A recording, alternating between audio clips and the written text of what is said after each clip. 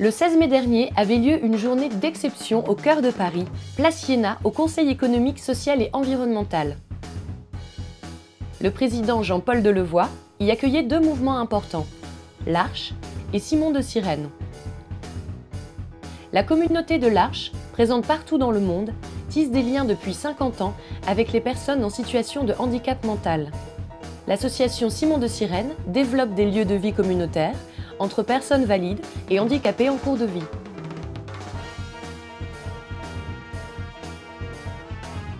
Ces deux associations très proches proposaient ce jour-là de vivre un moment de partage et de dialogue à l'occasion de la sortie du livre manifeste Tous intouchables aux éditions Bayard.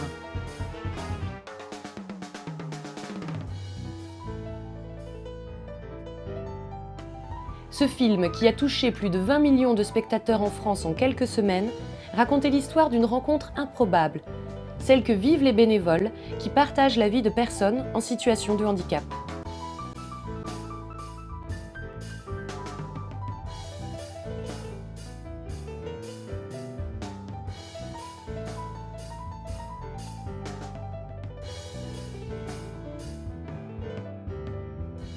Des ateliers, conférences, projections de films se sont succédés à un rythme incroyable pour montrer le quotidien de ces associations, la force de la fragilité, l'importance de l'audace dans la relation et la nécessité d'un monde plus fraternel.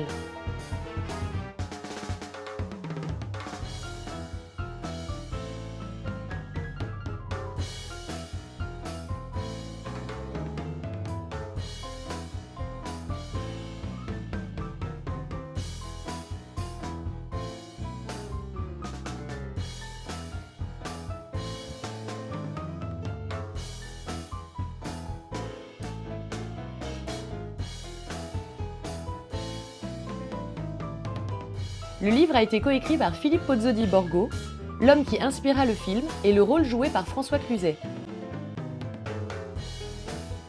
Jean Vanier, le fondateur de l'Arche en 1964,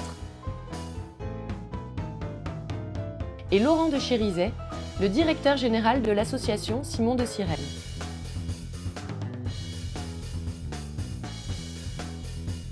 Toute la journée était placée sous le signe de la bienveillance et de la rencontre.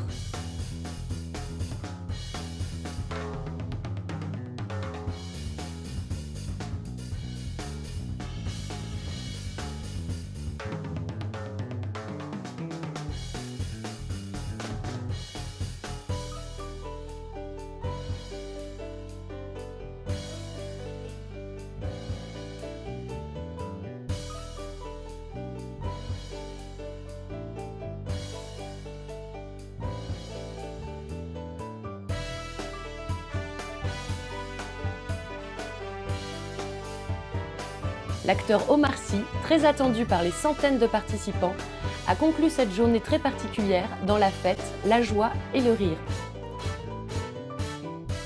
Une journée bouleversante dans laquelle le vivre ensemble a pris tout son sens.